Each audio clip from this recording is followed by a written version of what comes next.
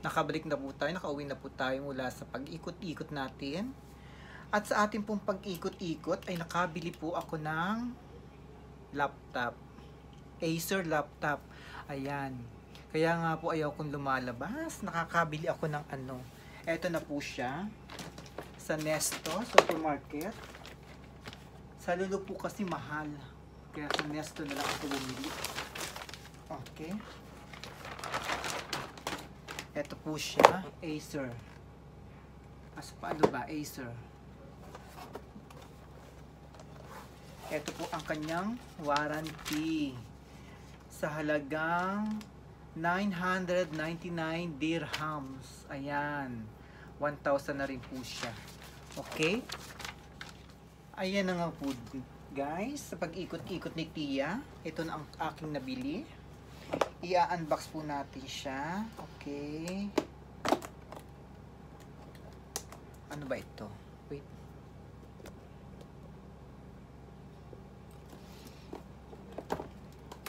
Ay. Ayan. Ito po siya. Bagong bago.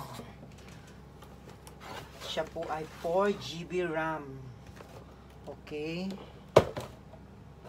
Po ang kanyang gayan o si Acer. Baligtad pa rin siya sa ano. Paano ba? Baligtad pa rin. Okay. Ito po ang kanyang charger.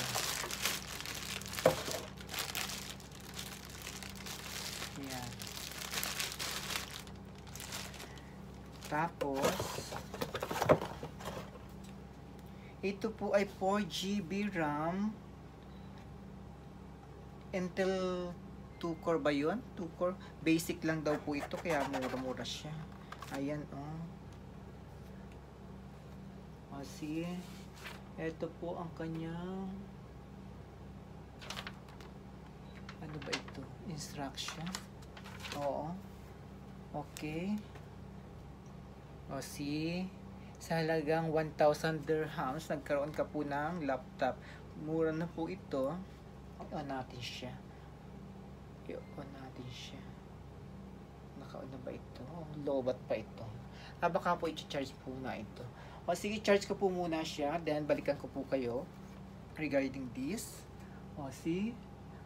Ang laptop ni Tia. O.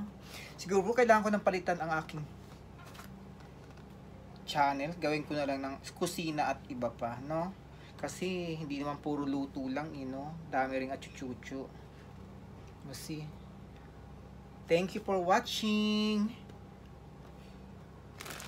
Happy po ako sa aking nabili. See you next time.